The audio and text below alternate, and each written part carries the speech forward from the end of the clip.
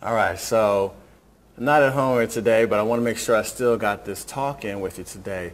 Um, of course, we're still continuing on on some practices, some um, techniques to help you create your your own faith, to build your own faith this week, and how to improve it. Some little techniques this week. So we're going to talk about the first thing today is going to be about prayer.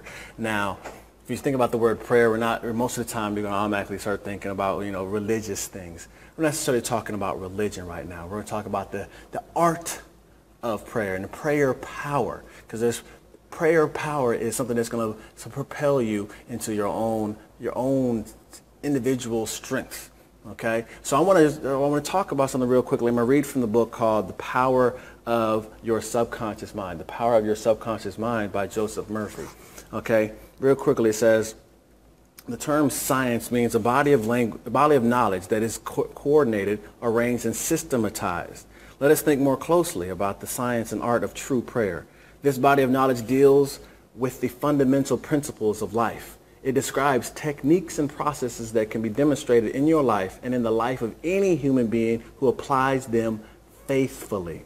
The art is your technique or process, and the science behind it is the definite response of creative mind to your mental picture or thought. And I'm going to skip it down a little further now. It says, what does this celebrated verse? Okay. It shall be open to you when you knock, and you shall find that for that for which you are searching. This teaching applies the definiteness of mental and spiritual laws. Mental and spiritual laws, we're talking about prayer. There's always a direct response from the infinite intelligence, that's God, the universe, whatever you call it, of your subconscious mind to your conscious thinking. If you ask for bread, you will not receive a stone. You must ask believing if you are to receive. Your mind moves from the thought to the thing. Unless there's a first an image in the mind, it cannot move, for there will be nothing for it to move toward. Your prayer, which is your mental act, must be accept, accepted as an image in your mind before the power from your subconscious will play upon it and move, make it productive.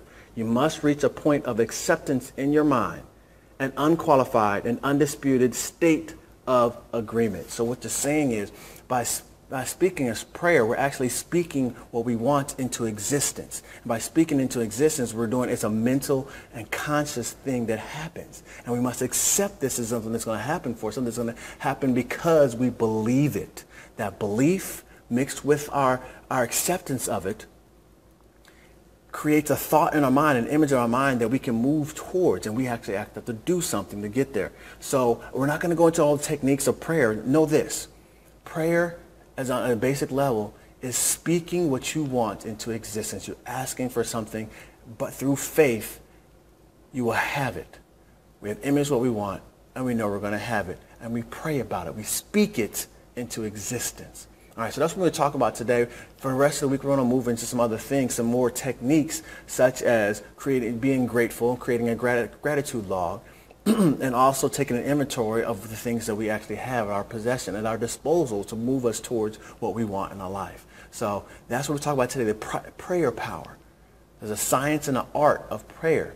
The first step towards helping you move towards your the goals that you want to achieve in your life. All right, guys, this is going to be put up uh, as is Arlando, excuse me, storytellingoverselling.com forward slash prayer power. Click on that link and get more information.